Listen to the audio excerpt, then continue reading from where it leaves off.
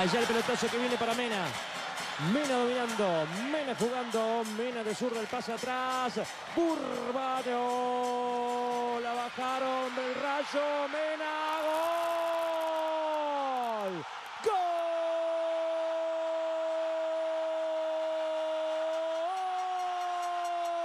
de Melec, llegó el ángel del gol, llegó Mena, para tocarla reclaman un offside los brasileños, habrá que repasarlo, gol de Ángel Mena, gol de Melec, Emelec 1, Inter 0. Y si hay gol de Melec, o está Bolaños o está Mena.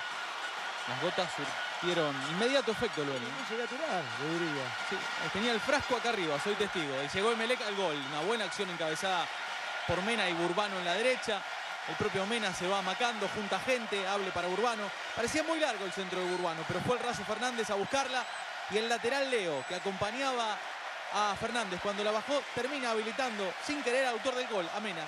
Porque en el medio hay un cabezazo de Bolaños que la baja y dos toques de Mena. El primero rebota en Allison y el segundo es simplemente un trámite. Empujarla al arco vacío con el 2 que quedó enganchado. Defendió mal Inter de Porto Alegre. Aparecieron los talentosos de Emelec y en un partido parejo gana el bombillo y es líder del grupo. Tercer gol de Mena en esta copa. Correcto, en línea rápida. Emelec. Tendrá Quiñones, Novoa. Veremos. Llega el centro al área arriba quiere Inter. Buscaba Rever, rebote y gol. Vitinio. Gol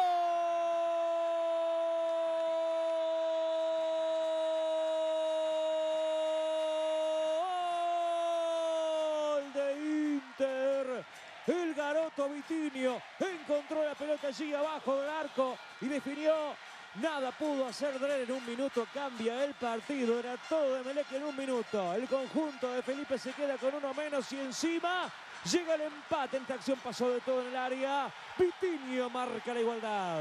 ¿Y saben quién la bajó? Rever, el que estuvo en la acción polémica cuando en realidad le salta adelante su compañero. Saltaron los dos. Rever y me parece que el otro era Juan. La cuestión es que le quedó a Vitinho. Primer gol en la Copa para Vitinho, tercero en la temporada para el delantero que entró en el segundo tiempo. Le pasó todo junto a Melec.